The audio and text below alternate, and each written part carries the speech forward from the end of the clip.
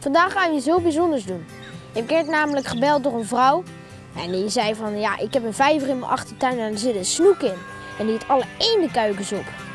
Wil je die eruit komen vissen? Ja, dat vond ik een hartstikke leuk idee. Maar dat gaan we dus vandaag doen en dan eh, hopen dat het lukt.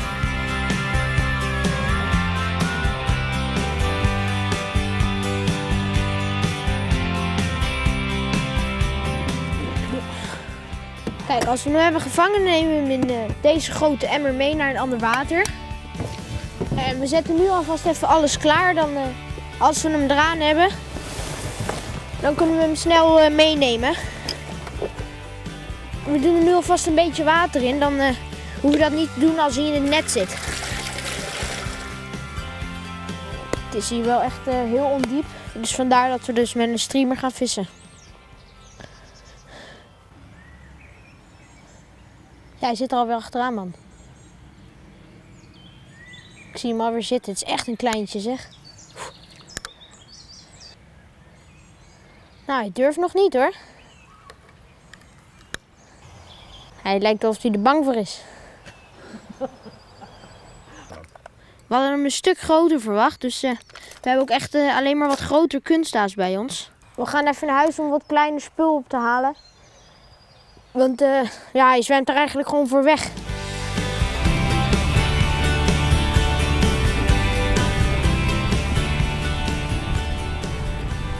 Ja, kijk, dit zijn uh, mooie plugjes om mee te nemen. Hier hebben we een klein poppertje. Die we toen in Spanje hadden gekocht. Hier hebben we nog een mooi plugje. Nou, ik denk dat het uh, verhaal met die ene kuikens niet echt helemaal klopt.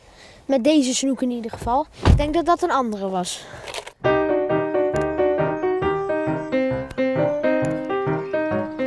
Nee.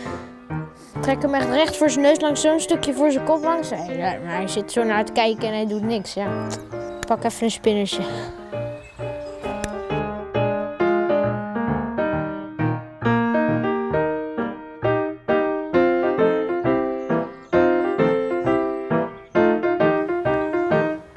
Hij wil echt niet. Hij heeft er geen zin in, dus dan uh, gaan we het morgen nog een keer proberen. En dan kijken of het wel lukt. Poging nummer 2. Ja, dit gaat nog een aardige karwei worden hoor. Om dit snoekje te pakken te krijgen.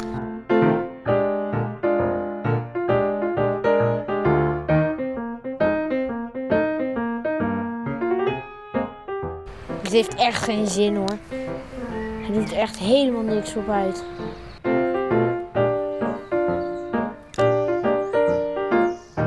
Oh, hij doet er echt helemaal niks op uit. Hij zit er zo een beetje naar te kijken. En voor de rest doet hij echt helemaal niks. We gaan even wat kleiner spul eraan doen. Met een rateltje en een fel kleurtje. Ja, hij zwemt er echt alleen maar voor weg of ik kijk ernaar, ja. Om, eh, om dat nou nog langer te proberen. Misschien wil hij in de ochtend happen dat hij niet zo'n avondsnoek is. Nou ja, laten we dat dan maar, uh, laten we dan maar in, de, ochtend uh, proberen te vangen. Poging nummer 3. We hebben nu wat andere setup uh, aan de hengel gedaan. Want we hebben nu geen, geen dikke onderlijn, maar gewoon wat fluocarbon. Het is zo'n klein snoekje, die zou het echt niet door kunnen bijten.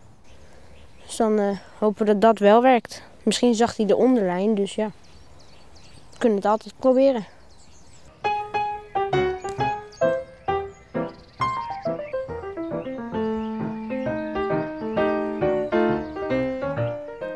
Even kijken of die daar langs de kant ligt.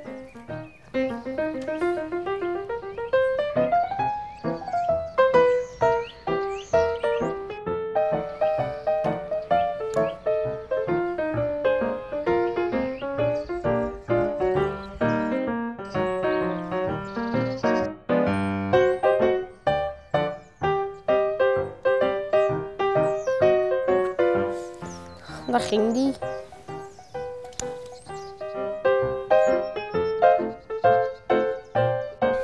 Ja, dit zou je gewoon moeten pakken hoor. Maar nee, hij, hij, hij deinst er zelfs voor achteruit joh. Ik raak letterlijk zijn bek aan. Volgens mij hebben we hier met een vegetarische snoek te maken.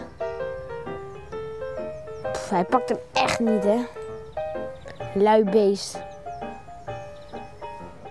Nou, ik ga het morgen nog een keer proberen met nog kleiner kunststaas. Oh, wat een taaie snoek is dit. Nou, dit is de laatste keer dat we het gaan proberen.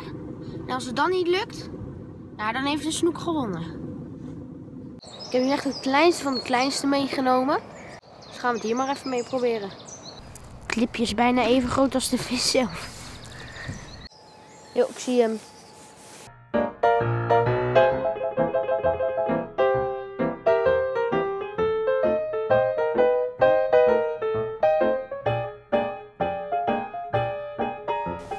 En hij zwemt er weer voor weg. Jezus. Nou, ik heb hem nu al zo eh 15 keer voor zijn neus langs getrokken. Alleen hij doet er weer helemaal oh, niks op. Denk niet dat die snoek eh, vissen eet. Nou, we hebben hem jongens. De camera lag alweer in de auto, want ik had de moed al een beetje opgegeven. Ik dacht van, ik zie hem, dus nog één laatste keer. En toen, eh, bam, toen zag hij zijn kans schoon. Nou, mooi visje hoor.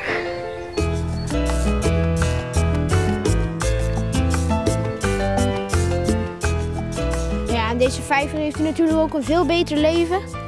Dan is zo'n heel klein vijvertje.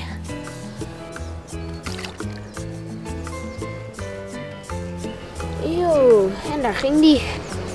Nou, bedankt voor het kijken naar, eh, naar dit bijzondere avontuur. En eh, tot de volgende keer.